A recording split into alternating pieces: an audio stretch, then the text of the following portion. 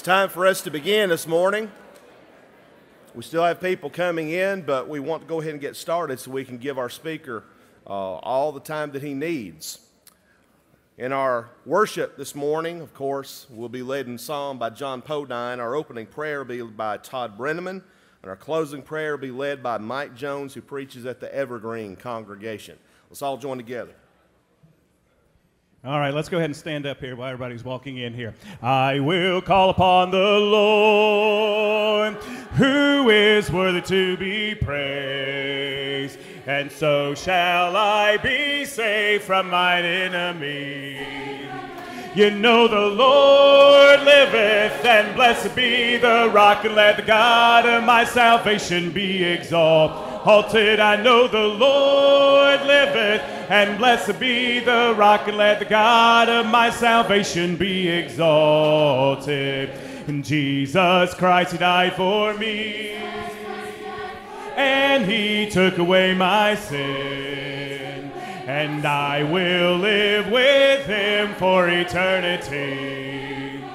You know the Lord liveth, and blessed be the rock, and let the God of my salvation be exalted. I know the Lord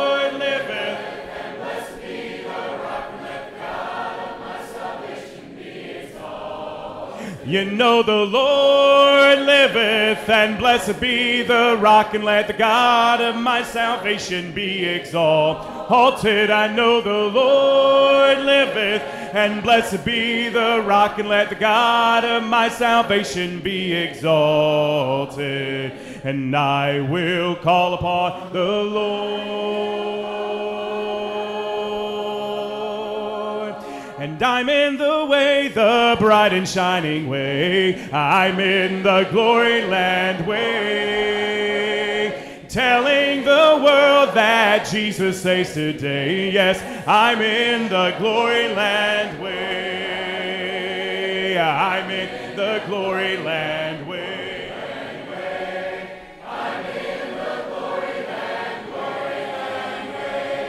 heaven is nearer and the way groweth clearer. For I'm in the glory land way. And onward I go, rejoicing in his love. And I'm in the glory land way.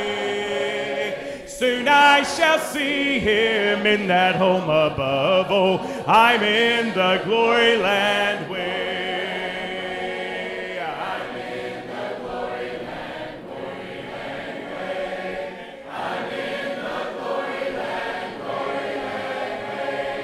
Heaven is nearer and the way groweth clearer. For I'm in the glory land way. And light of the world, you step down into darkness. Open my eyes, let me see beauty that made this heart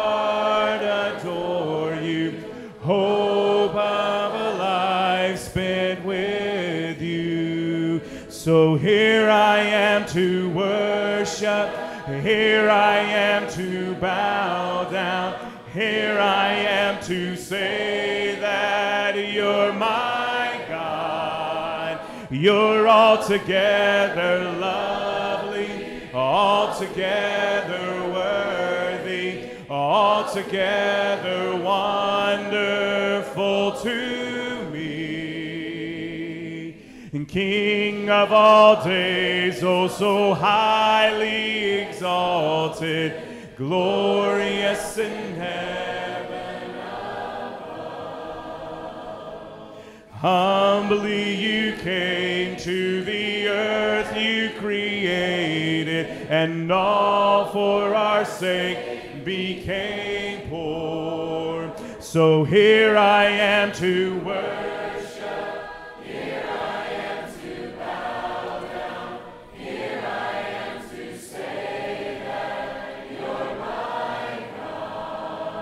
You're altogether lovely, altogether worthy, altogether wonderful to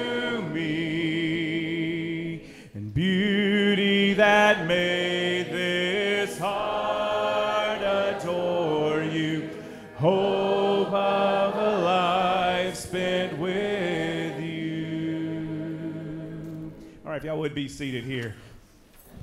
Amazing grace, how sweet the sound that saved a wretch like me. I once was lost, but now I'm found. Was blind, but now I see. 'Twas grace that taught my heart to fear, and grace my fears relieve.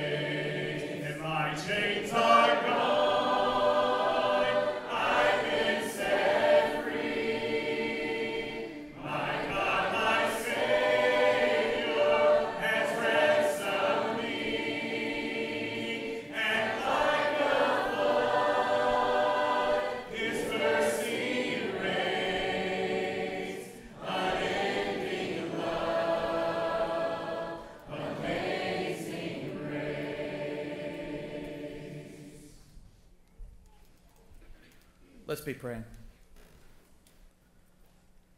Father in heaven, we're in awe of your grace. And amazing doesn't seem to justify and doesn't seem to completely encapsulate how phenomenal your grace is towards us. Father, help us to be grateful for all the blessings you provide for us. Help us to recognize those things that you do in our lives so that we might give you the glory. Father, we pray that the worship we offer to you is acceptable and pleasing to you. We pray, Father, that it comes from hearts that want to serve, from hearts that want to glorify you. This time, Father, especially, we ask that you be with Jordan Alexander. And we pray, Father, for healing in that situation. We know that there's a long road ahead for him. We pray, Father, that you would be with those that are treating him and that they would make the right decisions uh, regarding his care for as speedy and as painless of recovery as possible. We ask that you be with those and comfort those that are suffering with him, his parents, his family, his friends, and his teammates. And we pray, Father, that they would uh, be able not only to comfort uh, Jordan, but to be comforted themselves. We pray, Father, that in light of this tragedy, we draw together as a community as the investigation goes into what happened and why this happened, that uh, wisdom would be offered so that uh, things like this would not happen again. We pray, Father, that as community uh, here at Faulkner, that we would continue to shine a light, uh, not only here in Montgomery, but in the world around us, that we might show our good works and people would glorify you. We pray, Father, now for the, uh, the speaker. We pray, Father, that you would speak through him, that you would give him wisdom and recollection of those things that would um, best uh, share your gospel, not only with us, but with those around us that need to hear of the wonderful gift of your Son. For it's in his name that we pray. Amen.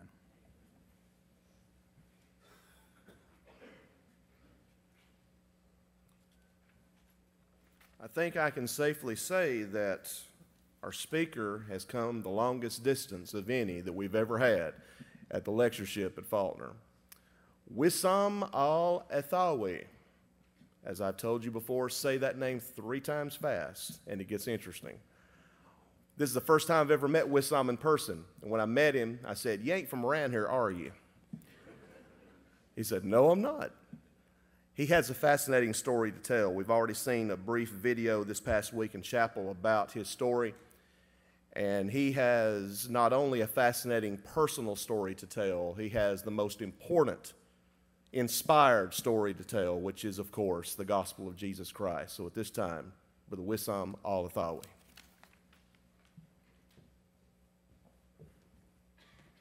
Appreciate that, brother. Thank you. Good morning. It is my honor to be invited to be a part of Faulkner University's lectureship. I cannot but, but get emotional as I remember a time in June, I think, of 2011. I had been in the United States for two months at that time. Just to put things into perspective, I have already applied for my citizenship now. and I was being interviewed for my asylum application. When I came, I applied for asylum for, uh, because of my religious conversion out of Islam back in Baghdad. And I will be talking more about that in detail, Lord willing, this evening at 7 p.m. And uh, our class is, uh, or God is near. So I visited a family in New Jersey, a, an Armenian family. Uh, the, the father of that family was born and raised in Baghdad. I was staying with that family to go and be interviewed for my asylum application when I went on a morning walk with one of his sons. And an older man met us in the park, and he knew that I've been in the United States for less than two months. He said, Go to school, go get a degree, because without a degree, you're nothing. Of course, I don't totally agree with what that man said, but I looked at him and said, I, I'm an immigrant. I'm a refugee. My money are barely enough for me to, to go by the day and for my food and my basic needs. He said, borrow money and go to college. And I was looking at that man. What is he talking about? Doesn't he look how poor I am? Well, fast forward a few years later, I'm standing from behind the podium of an esteemed university in the United States giving a lecture. There is no one but God that I can give the credit for his work in my life as a version of his work in everybody else's lives if we just stand back and just look at what God has been doing. To his glory first. And as long as you're in tune with God's will, blessings would be raining on you from sources that you don't know of. For this morning's class, I think I've been asked to. Sorry. Yes. Well, okay. We, uh, I have been asked to give a class on Is God One? Uh, because of my background and the work that I'm doing, I will be uh, uh sharing more about that in, in detail. Uh, because I am familiar with both uh, faiths, Islam and Christianity, that's usually what I do. I tell Muslims about Christ. That's what I do in Dearborn, Michigan. That has the biggest concentration of Middle Easterners anywhere outside the Middle East. And I tell Christians about Islam, like I will uh, tell you now. And so I will try to stick to my theme of my work, the work that I'm doing, and stick to the theme of this lectureship, which is about uh, God is. Uh, usually, the problem with, with the majority of people uh, is uh, not whether there is one or more than one God. I mean, if you're a Christian, you, you should take for granted the fact that God is one. even though the obscure doctrine of the Trinity is, is all over the Bible. You, you cannot just, uh, you, you, you, you cannot but claim that God uh, and, make the confession uh, that God is one as part of your Christian faith. The same thing goes with Muslims. And yet, both Muslims and Christians have been fueling the debate on whether they are worshiping the same God or not. And the answer is neither yes nor no. That's why I have a full class on that this morning. And this class is called, by the way, this is the Arab Christian Ministry, the work that I'm doing, Al Khidma Al Arabiya Al Masihiyya. The class for this morning is about the element of the Islamic faith. Is Allah God? The point behind the Arab Christian ministry is to save Muslim souls, to show them the love of Christ first and then the truth of his gospel. Yes. And at the same time, to educate the Christian community about Islam so that your family members would have an answer whenever they learn about Islam. And whenever somebody says, I, I think I need to join the Islamic faith, you should have an answer to, okay, why don't you think that Islam is the way to God as it claims? Or why don't you think that Islam is a good faith to, to follow? Good and true are two uh, different uh, uh, attributes that Islam enjoys neither of them. Islam claims to be from God but fails to prove it. That makes it false. Uh, Islam, and I know this is a controversial subject, uh, is uh, eventually a militant faith, and I don't want to use this claim to promote hatred against your Muslim neighbor who is not accountable to what Muhammad said or did or what the Quran says. But Islam does not introduce itself as a, a, a good religion. And so, to get to the point of preaching the gospel to your Muslim neighbor, you should know where your Muslim neighbor stands. And this is part of showing where your Muslim neighbor stands. You don't get to go to your Muslim neighbor and say, I am preaching a new God to you. My Muslim neighbor, what do you think of God? The Muslim would say, I think God is the creator of the universe. Okay? He created the heavens and the earth in six days. The Quran says so. Okay? He created Adam and Eve, created Adam out of dirt, created Eve out of Adam's rib. The Quran says that. Okay? He appeared to Moses in the burning bush. The Quran says that. Okay, well, congratulations. You've been worshiping the wrong God. I'm introducing a new God to you. Please don't do that. The Quran may fail to describe the one God, the true way, but that does not mean that there is a totally different being by the name Allah next to God. Probably they don't even know of each other, and that's what actually many people think. Or some people think that would that uh, Muslims are uh, worshiping an idol or Satan. Or if, if the debate gets political and gets heated, obscenities will come out of uh, like to describe the Islamic God. And so let's study facts. Is Allah God or not?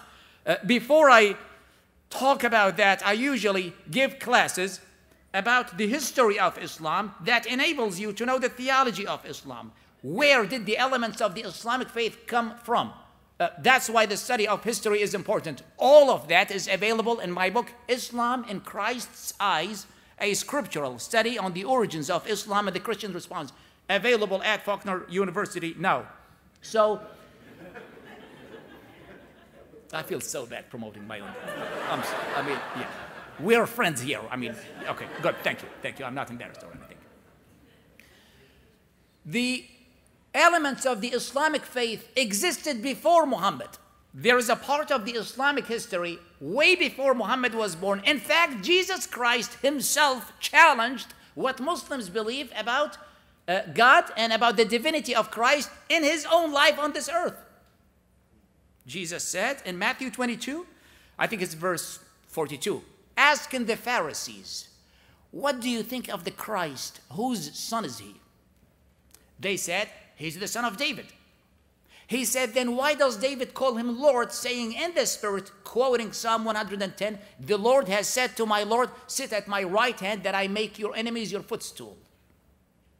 Traditionally, Jews believe that the Messiah, whoever he is, whether he's Jesus or not, that the Christ is a king. He's the son of David. He's not God. He's not divine. He's not the son of God.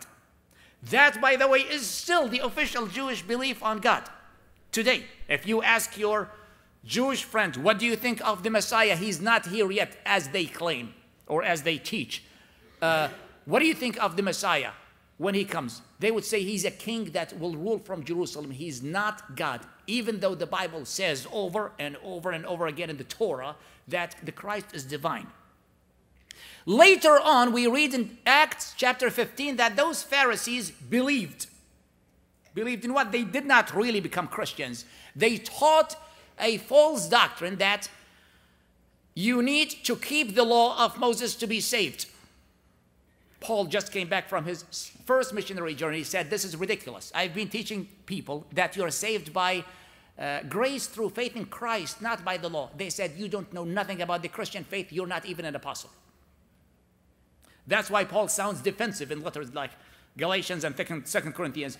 These people, the Pharisees who believed, we call them today the Judaizers, taught that the Christ, I'm sorry, that Jesus is the Christ, but he is not the Son of God. They taught that you needed to keep the law to be saved, and they denied the apostleship of Paul. This is exactly what Islam teaches. So there is a historical and there is a theological background to the character of God in the Islamic faith. The, there are three parts to the answer to the question is Allah God? I'm a preacher. I have my brain has three parts. I think in groups of threes. So I have to come up with three points anyway. The first part, there is a linguistic part. By the way, if you ever want to preach the gospel to Muslims, or if you ever wanted to defend the Christian faith before your Muslim neighbor, uh, cordially and, and, and, and in a nice way, you must know the full answer. And I will be talking about that in detail by the end of, of this class. There is a linguistic part to the answer, there is an anthropological part, and there is a theological part. Well, First of all, Allah is just an Arabic word that means God. By the way, the word Allah is used in the Arabic Bibles, the Arabic translations of the Bibles. God, believe it or not, does not have a driver's license that says name God. God is just the English name of that one being, the creator of the universe, the King of kings, the Father of our Lord and Savior, Jesus Christ. And I have no idea where my notes are. Oh, okay. These are the 10 most common languages in the world by country, not by native speakers. What's the most common language by native speakers in the world? Chinese. One out of every four people in the world speak Chinese. This is by country. The most common language is English. The English speaking people, that is everybody here, we call God God. The French people call him Dieu. That does not mean that there is another God that the French people worship. To say that God has a name in each of these languages except the third most spoken and the oldest among these languages is ridiculous. There are some other words in the Arabic translation of the Bible. By the way, the thing to the left is the Bible, not the Quran, even though it's written in Arabic. Some words that the, the, the, the, Bible uses in Arabic may sound alarming to the American ear. The Bible literally says in Arabic, in the beginning Allah created the heavens and the earth. It says in John 3 16, for Allah so loved the world that he gave his only begotten Son. Uh, it says in the book of Exodus, there is another word that may sound alarming to the American ear, the Sharia law. It is actually mentioned in the Bible, not the law of Islam, but the law of Moses is called Sharia. Uh, the Bible says in Exodus 24 12 that God called Moses to come up on the mountain and he would give him the tablets of stone and the Sharia, talking about the law of Moses as a, a, a, a, a generic word. In Ephesians 5 2, Paul says that we should walk in love as Christ also has loved us and submitted himself for us. Literally, the word submitted in the Arabic Bible is became Muslim. Did Christ convert to Islam? No, he did not. He submitted himself to us. This is my favorite. Paul tells Timothy in 1 Timothy 6 uh, 12 to fight the good jihad of faith. He's not telling him to fly planes into buildings. He just tells him to fight the Christian uh, uh, uh, warfare, the spiritual warfare. By the way, funny story. A couple of years ago, I was contacted by a congregation near where I live in the Detroit area, and they wanted me to do a week long version of my Islam in Christ's Eyes signature uh, lecture. And the man who called me and uh, like I got my calendar and we set the dates. Uh, he said, One more thing. Uh, what translation do you use? I said, Why? I am a student of God's word. I use a lot of these. He said, Well, my congregation is kind of conservative. I said, Uh oh. How conservative? He said, They're kind of against the NIV. I said, Well, my personal Bible is New King James. He said, Then we're good. I said, You may want to tell your elders that my native tongue Bible uses Allah for God, Sharia for the law of Moses, became Muslim to say that Christ submitted himself for us and to fight the good jihad. And just like that, the NIV sounded as conservative as the NRA.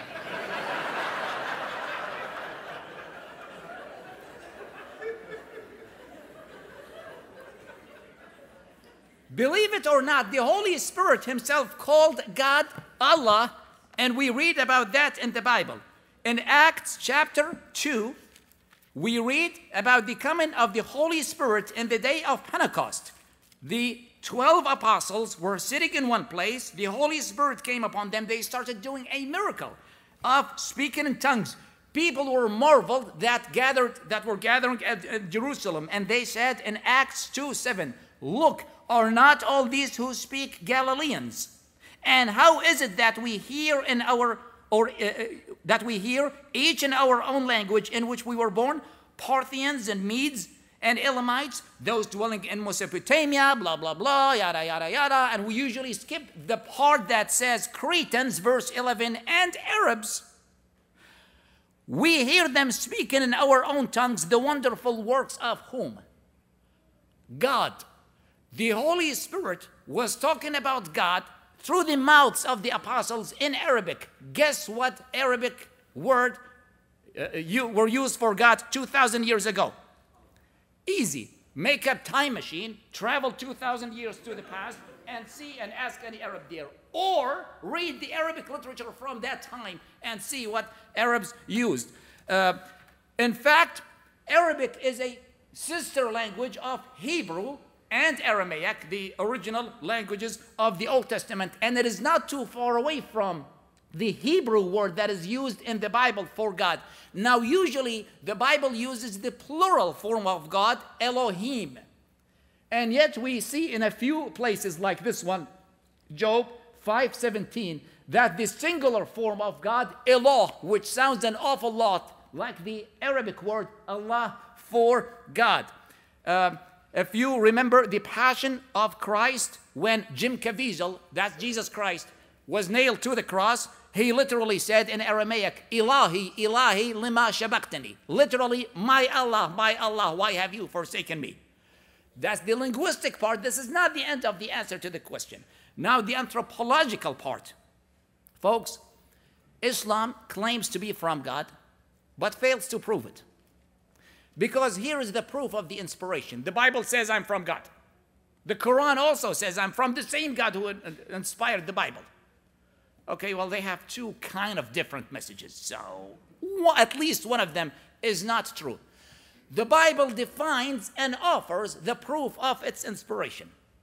The Bible welcomes you questioning his, or its inspiration and gives you, first of all, fulfilled prophecies. Deuteronomy 18 21. If you say in your heart, How can I know the word which the Lord has not spoken? If the prophet speaks in the name of the Lord and that does not come to pass, he has spoke, spoken it presumptuously, you shall not be afraid of him. A prophet prophesies, right? Yes. Does the Bible have any prophecies? A ton of them. Most of the Bible materials or prophecies, most of them were fulfilled after they were foretold. Some of them are pending fulfillment. The Quran not only does not have any prophecies, Muhammad himself says he could not prophesy in the Quran. Chapter 7 and verse 188. I hope I will have the time to share a few of these notes in detail in our uh, forum class. Oh, this is a mess. Uh, at, yeah, at, at 1.30. Um, Muhammad says, if I had the knowledge of the unseen, I would have accumulated a lot of good things. Literally in the Quran. Basically, he just said, if I could prophesy, I would have gone to Las Vegas. Second of all, the public supernatural. Those who preached God's word were empowered by the Holy Spirit, doing miracles in public to confirm the prophetic word. Muhammad said he could not do any miracles in the Quran.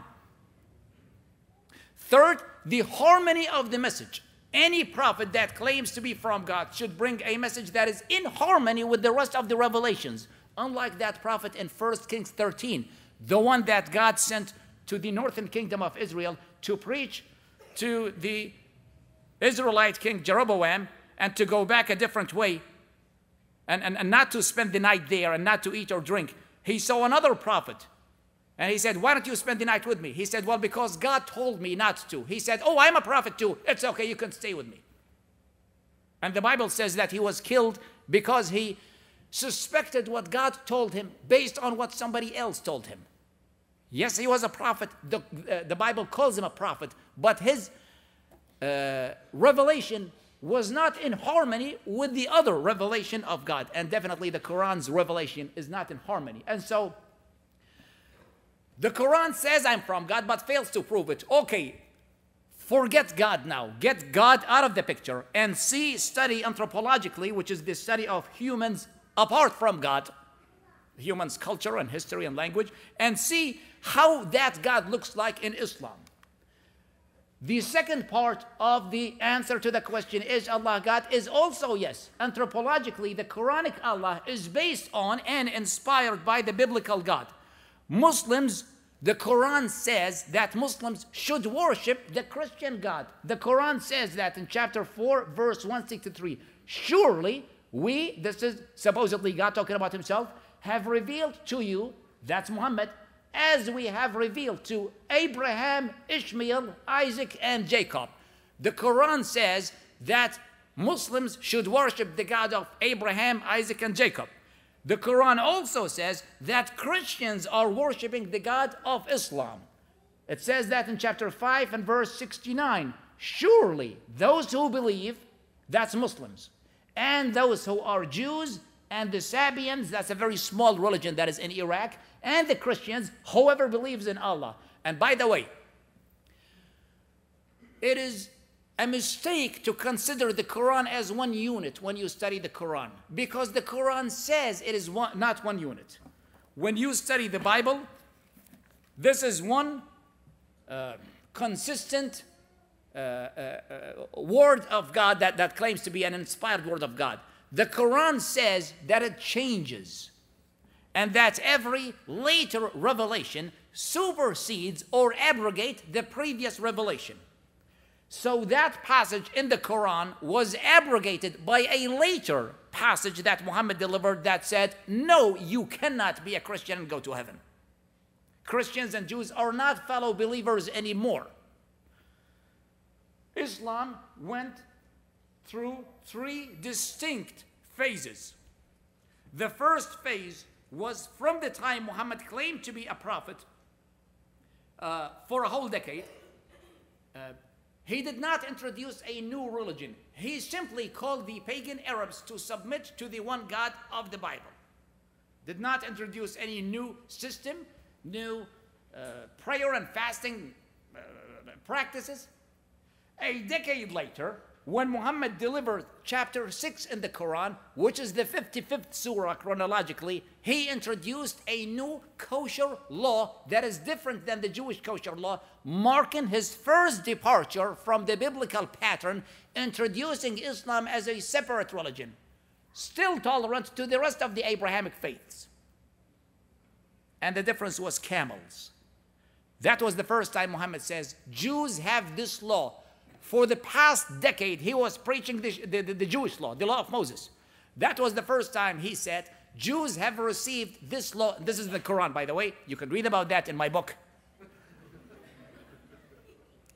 But I say this, and the difference was camels. Camels are not kosher in the Jewish law, they are kosher in the Islamic law. Islam was still tolerant to the rest of the Abrahamic faith until the next stage started, the third phase, which is after the hijrah or the migration of Muhammad from Mecca to Medina. That's when he introduced Islam as the only way to God and started waging war against anyone who does not convert to Islam. In each of those phases or stages, Muhammad delivered different Quran passages that are shuffled today in the Quran and the standard Quran the way you would shuffle a pack of playing cards.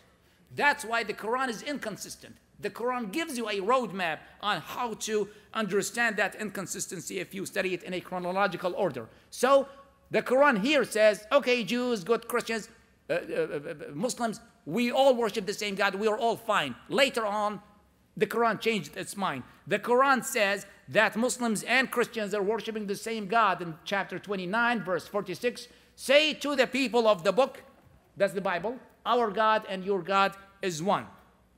Uh, a, a close study of the description of the character of God in the Quran reveals that He's the one God, that He's the one that created the heavens and the earth in six days, and that He's the one who created Adam out of dirt. He's the main character in the story of Adam and Eve, Cain and Abel, Noah and the flood, Moses, and all these stories that we know in, in, in the Bible are quoted in the Quran. He was the one who appeared to Moses in the burning bush.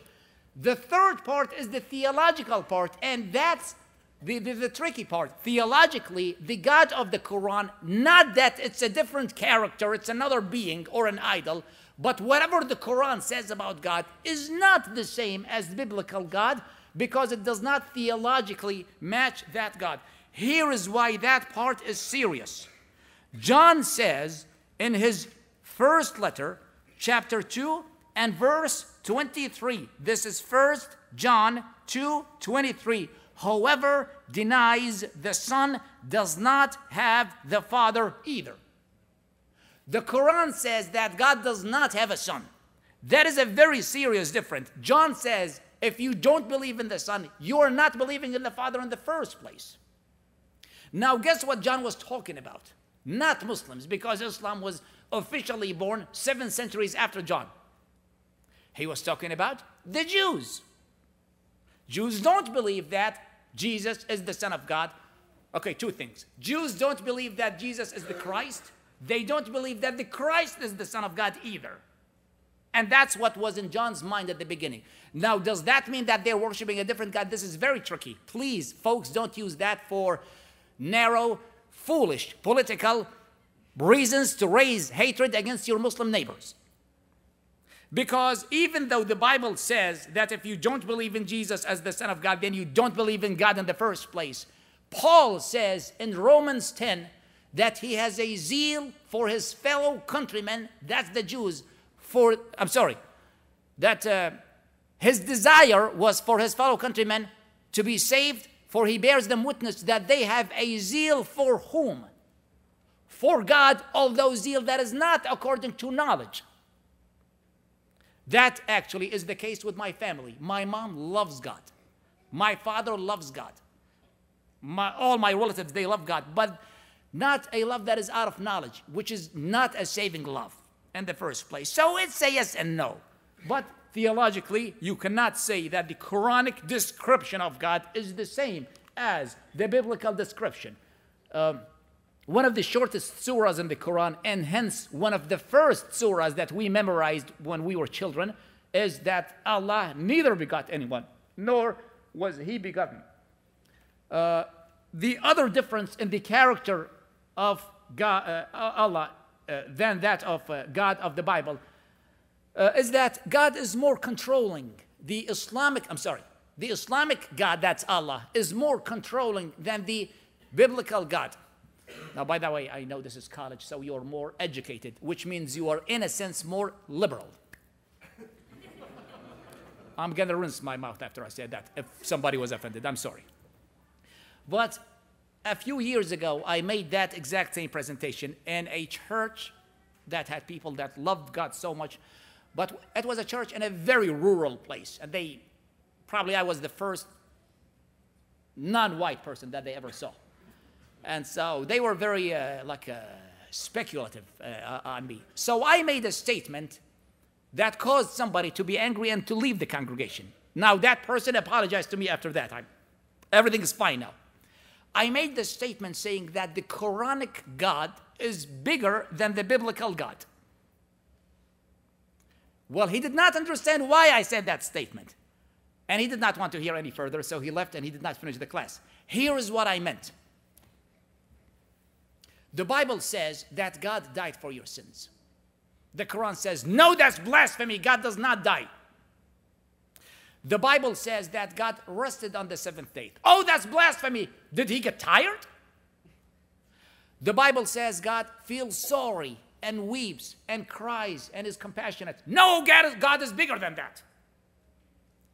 By the way, if you God is not whatever you decide about God. God is whatever He says about Himself. And so that does not mean that the Quranic God is actually a real being that is bigger than the biblical God that you've been worshiping for decades, or a decade and a half, depending on. on, on, on. It just means that the Quran uh, makes up that God that is way bigger than, than, than what Muslims believe the biblical God is. And how big, how, how far can you go with this philosophical uh, uh, uh, sophism? Can God create a rock that's bigger than him? So bigger than him that he cannot lift? If you say yes, then he's not God because the rock would be bigger than him. If you say no, then he's not God because he could not do something. And so, folks, don't go on philosophical waste of time. Just read what the Bible says about God. The Quran, the Bible says that it was Adam who came up with the names for things. That was, by the way, the first thing uh, time, one of the first times when I started to question Islam. I was a child when I read this in the Quran, and I said, okay, God taught Adam the names of everything. Like, did he teach him the name of the television? And in what language? In all languages? That does not make any sense. Well, the Bible makes more sense here when it says that it was Adam who came up with all these names. Uh, the Quranic God is not an absolutely loving God. He only loves the righteous people and not the disbelievers. That's the third passage.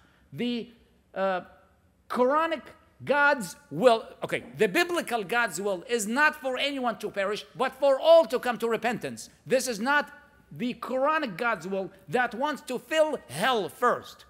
And finally, the Great Commission of Islam is to fight until the world converts to Islam. This is the Great Commission. And somebody would say, open this Bible, and they would say, see, eh, all Muslims are meeting in a secret dark room and they want to convert the world to Islam. I have a few issues with this statement. To use this part of the Quran to say that all Muslims are a threat. By the way, Islam pretty much did not exceed its boundaries one century after the death of Muhammad. When Muhammad died in 632 AD, those who sat at the feet of Muhammad, his apostles, if you will, took Islam in conquests. My forefathers invaded Iraq 1400 years ago uh, in 636 uh, uh AD, and, and, and they, uh, they, they displaced the natives, and we gave them reservations, and, and we've been staying there ever since.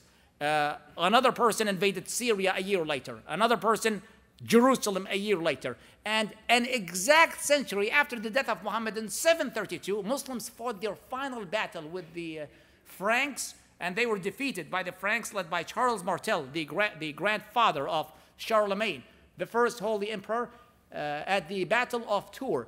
Islam did not expand much after that, which happened 13 centuries ago. Trust me, it's not going to happen in your lifetime. Is Allah God? Well, yes, Allah is an Arabic word for God. So remember, if you ever plan to give any Bible to anyone, by the way, my school's president said that there was a certain congregation that supported a missionary that was printing and distributing Bibles in a Muslim country. And the congregation invited that missionary to talk about his work one time, and they said, What words are you using for God? He said, Allah. They discontinued his support and terminated the ministry you will have to know that that's just a word. And well, so the, the theological part is uh, uh, Allah, if, okay, if you say Allah, you're either an Arabic speaking person that talks about God, and by the way, when I pray, I pray in my native tongue. Guess what I pray for? Or whom do I pray for? But when you are an English speaking person, when you say Allah, you usually use the word not as a word for God, but as a term to describe the Quranic God as opposed to the biblical God. And so, in that sense, no. Why it is important? Know the linguistic part uh, to know what's being communicating to the Arab speaking people, especially those Muslims. If you give them Bible, you have told them that, that Allah is God. Why do you have to know the anthropological part? You wouldn't tell your Muslim neighbor, I am get, uh, introducing a new God to you, any more than you would tell your Jewish neighbor that. Because they both don't believe in the divinity of Christ and in the fathership of, of God. And so, um, you don't introduce a new God, you redefine God to them in spirit and in truth, as the Bible says, and not as the Quran says.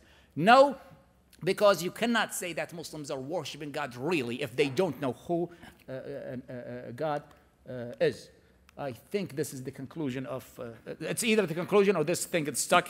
And so I will assume it was the conclusion of this morning's class. I'm so looking forward to see you at 1.30 at the LC building, wherever that is. And thank you so much, and God bless you.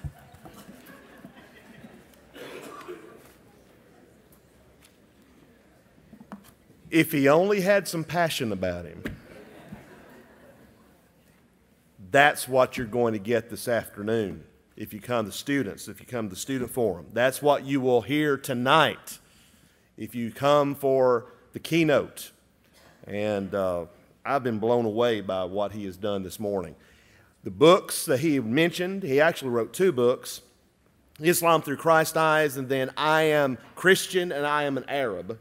I'm an Arab, I'm a Christian. Uh, both of them are in the lobby of the uh, Harris Parker building, available for you to purchase. And I've read both of those books. They're outstanding, and I highly recommend them to you. Uh, quickly, we have several things this morning, this afternoon. The Forum on Instrumental Music will be in Lester Chapel. That's LC, by the way. Lester Chapel over here at the Harris Building. Uh, and then there's also the, uh, the students that will be conducting the second floor lecture there in the uh, Curley Library at that same hour. 1.30 to 4, Wissam will be giving a student forum, and again, you'll want to come to that. 4.30, the Faulkner Family Fellowship at the fellowship room here in the uh, University Church building. And then tonight at 7 o'clock, following the congregational singing at 6.15, Wissam will be speaking on the subject, God is near. Again, a full day. And I hope that you'll take advantage of all of it. Please stand, and we'll be dismissed in prayer.